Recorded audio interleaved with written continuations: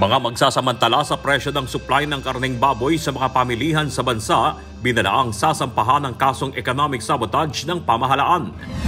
2.8 milyong trabaho, target na malikha ng pamahalaan ngayong 2021, kaugnay ng mga hakbang upang makabawi ang ekonomiya ng Pilipinas mula sa epekto ng COVID-19 pandemic. Ito po ang gusto, kagustuhan po ng ating Pangulong Rodrigo Roa Duterte. Makabangon talaga ang ekonomiya. This strategy brings together various measures, programs, and institutions that influence the demand and supply of labor as well as the functioning of labor markets. Overseas Filipino workers kasama rin sa listahan ng mga prioridad na mabakunahan laban sa COVID-19 ayon sa Department of Health.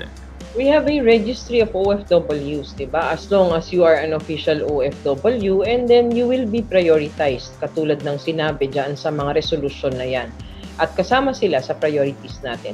Kung sakali na ikaw ay nabigyan na dahil galing ka sa ibang bansa, naka-indicate naman po yan and sa master list tinatanong, have you received the vaccine prior? Pagbibigay ng magkaibang COVID-19 vaccine sa una at ikalawang doses sa isang tao, pinag-aaralan na kung maaaring ng gawin ayon sa World Health Organization.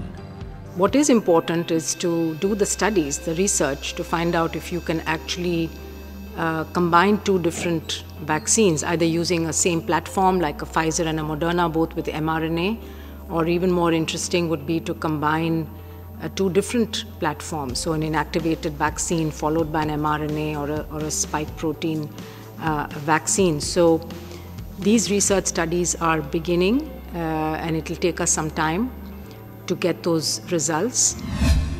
Anim na Pinay na umano'y biktima ng human trafficking sa Syria nakauwi na sa Pilipinas. Department of Foreign Affairs muling nagpaalala sa mga Pilipinong nais mangibang bansa na mag-ingat sa mga human trafficker at ipinagbabawal ang OFW deployment sa Syria.